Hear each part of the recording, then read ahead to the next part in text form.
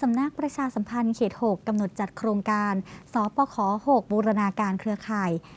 สร้างกลไกสื่อสาร เสริมประสิทธิภาพการประชาสัมพันธ์ และออนกล่าวพบปะประชาชน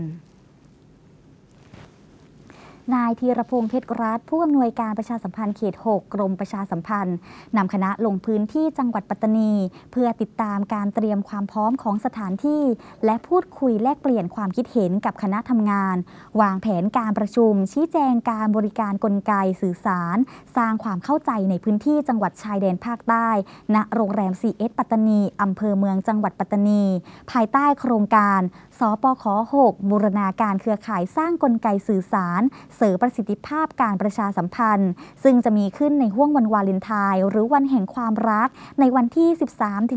13-14 กุมภาพันธ์นี้ โดยมีนายอนุชานาคาสายรัฐมนตรีประจำสำนักนายกรัฐมนตรี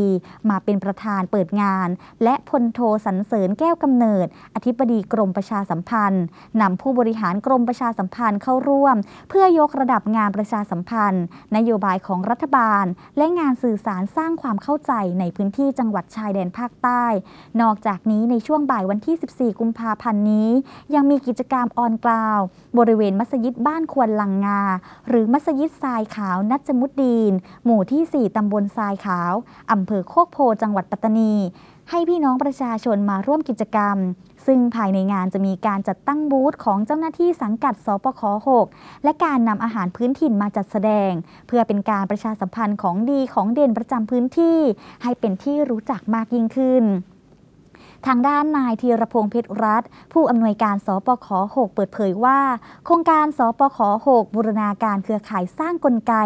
สื่อสารเสริมประสิทธิภาพการประชาสัมพันธ์ที่จัดขึ้น เป็นการประชาสัมพันธ์การรับรู้ข้อมูลข่าวสารนโยบาย ของภาครัฐบาล เพื่อนำสาระความรู้ที่มีคุณภาพ ความเป็นทีวีสาธารณะของภาครัฐ สู่ประชาชนต่อไป ไปฟังเสียงสัมภาษณ์ผู้อำนวยการขออภัยค่ะ ผู้อำนวยการประชาสัมพันธ์เขต 6 กรมประชาสัมพันธ์ค่ะ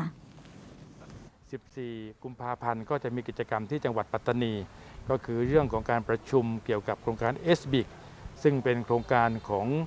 การบริหารกลไกข้อมูลข่าวสารต่างๆ ที่จะให้ส่วนราชการต่างๆ ในพื้นที่ 5 จังหวัดชายแดนภาคใต้นะครับ ตั้งแต่ทาง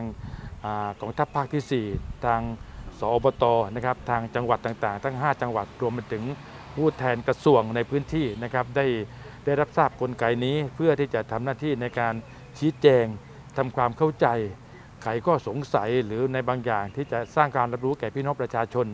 ให้ผ่านสื่อต่างๆนะจากการที่ได้ติดตามนะครับก็ได้เห็นว่าทุกฝ่ายก็มีความพร้อม สามารถที่จะมาพบปะมาพูดคุยกันได้ แล้วก็ในวันนั้น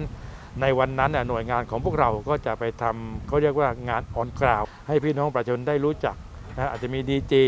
ไปพบปะกับพี่น้องประชาชนนะครับ ถ้าใครมีโอกาสก็เรียนเชิญครับผมครับ